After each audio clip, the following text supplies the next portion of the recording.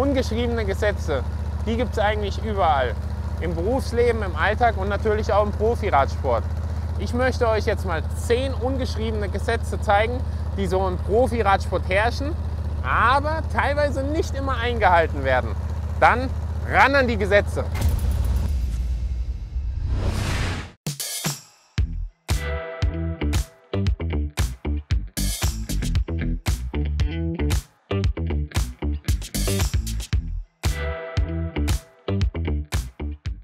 Ein ungeschriebenes Gesetz, was vermutlich viele von euch da draußen kennen, ist folgendes, nämlich wenn der Leader einer Rundfahrt, das gelbe Trikot, einen äh, Defekt hat oder zu Fall gekommen ist, dann äh, sollte das Feld auf ihn warten und das Tempo wird gedrosselt. Das finde ich auf jeden Fall eine sehr gute Regel.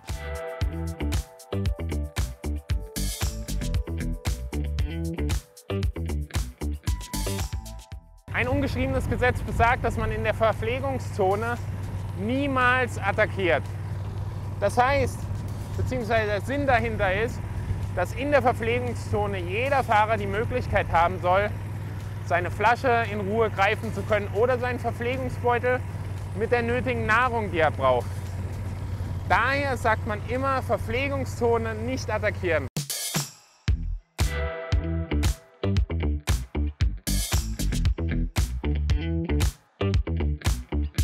Ach, bin ich platt. Schön abgehängt hier, aber mit so einer Sticky Bottle, da komme ich wieder zurück zum Feld. Ganz klar, ungeschriebenes Gesetz im Radsport. Benutze niemals eine Sticky Bottle, um wieder zurückzukommen zum Feld oder zu einer anderen Gruppe. Weil wenn man platt ist, der Tank leer ist, dann muss man das akzeptieren und dann ist man halt eben abgehängt.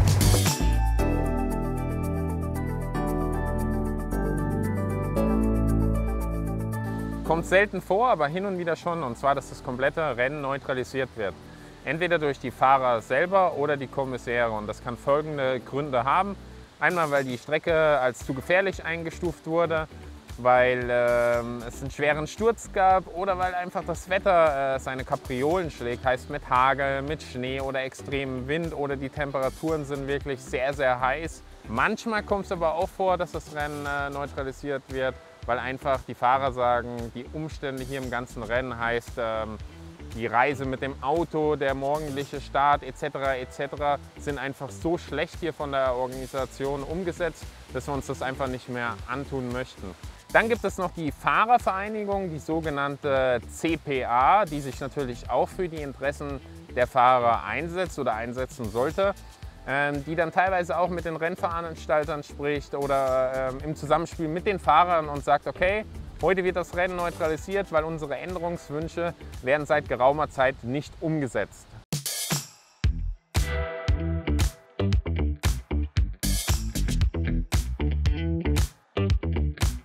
Man darf nicht den Autokonvoi bzw. den Windschatten der Autos ausnutzen. Aber man muss jetzt hier ganz klar sagen, unter den Fahrern und auch den Kommissären wird dieses äh, ungeschriebene Gesetz akzeptiert. Dann, wenn man einen Platten hatte, wenn man einen Sturz hatte oder wenn man vielleicht mal eine Pinkelpause gemacht hat während dem Rennen, äh, um wieder zum Feld zurückzukommen.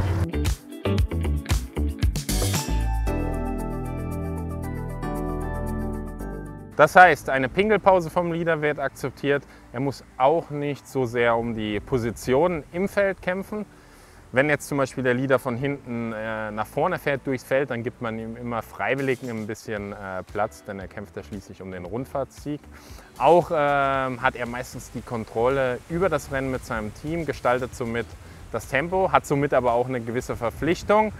Und äh, wenn er jetzt mal irgendwo eingebaut wird oder die Windkante kommt auf, dann lässt man ihn natürlich auch eher mal in die Reihe rein oder gibt ihm den nötigen Platz.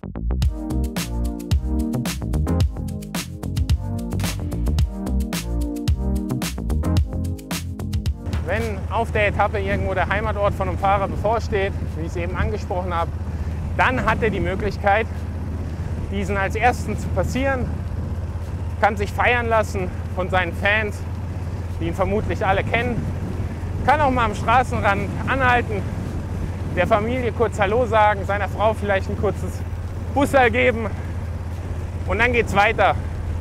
Der Race Leader Und die bestimmenden Teams, die sind in der Regel vorher informiert worden und haben dann meistens auch keine Einwände dagegen. Im Radsport ist es so, dass von der UCI vorgeschrieben ist, wie die Rückennummern angebracht werden müssen. Das heißt, man äh, muss sie so platzieren, dass sie gut ersichtlich sind. Man darf sie jetzt nicht groß zuschneiden, weil hier und da ist ja auch der ein oder andere Sponsor auf der Rückennummer platziert. Aber bei der Rückennummer 13 wird eine Ausnahme gemacht. Für viele Fahrer im Profi-Peloton bedeutet ja die Rückennummer 13 Unglück. Und daher dürfen diese Fahrer dann auch die Rückennummer 13 auf den Kopf stellen und es wird keine Strafe von der UCI geben, weil man möchte ja nicht, dass die Fahrer das Pech verfolgt.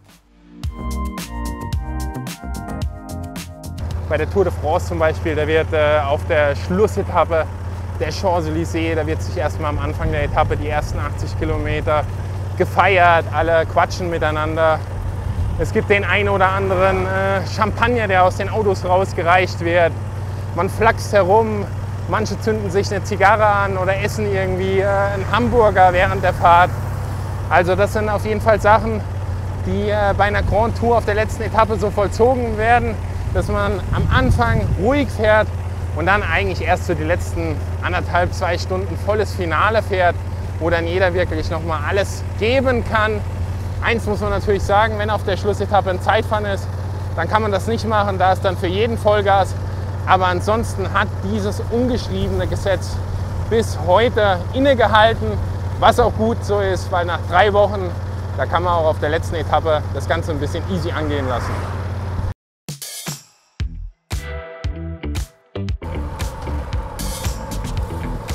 Okay, Gruppe des Tages steht. Pissé, Pissé, Pinkelpause, Stopp, anhalten, Wenn der Leader oder das gesamte Fahrerfeld sich dazu entscheiden, okay, jetzt ist ein unwichtiger Moment, jetzt können wir es mal ein bisschen äh, lockerer angehen lassen. Und es wird zu der sogenannten Pinkelpause ausgerufen, dann müssen das auf jeden Fall alle Fahrer respektieren und das Tempo wird gedrosselt und wenn das äh, Fahrerfeld dann wieder zusammenkommt nach der Pinkelpause und auch der Leader wieder zurück ist, dann kann man wieder Gas geben. Es ist auf jeden Fall keine Art, gerade wenn der Leader die Pinkelpause ansetzt und die Gruppe des Tages steht, dass man, wenn der Leader am Straßenrand steht und pinkelt, das Tempo leicht anzieht und versucht somit ähm, den Leader ein paar Körner ziehen zu wollen. Das geht auf jeden Fall gar nicht, wird aber hin und wieder praktiziert.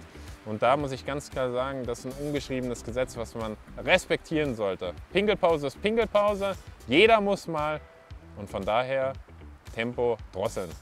Ich hoffe, diese ungeschriebenen Gesetze geraten nicht in Vergessenheit, was ja häufiger schon jetzt mittlerweile passiert ist. Mich würde jetzt noch interessieren, was haltet ihr von diesen ungeschriebenen Gesetzen im Profiradsport? Dann danke fürs Zuschauen. Wenn euch dieses Video gefallen hat, so würden wir uns über ein Like freuen und für weitere coole Videos abonniert jetzt unseren Channel GCN auf Deutsch. Ciao!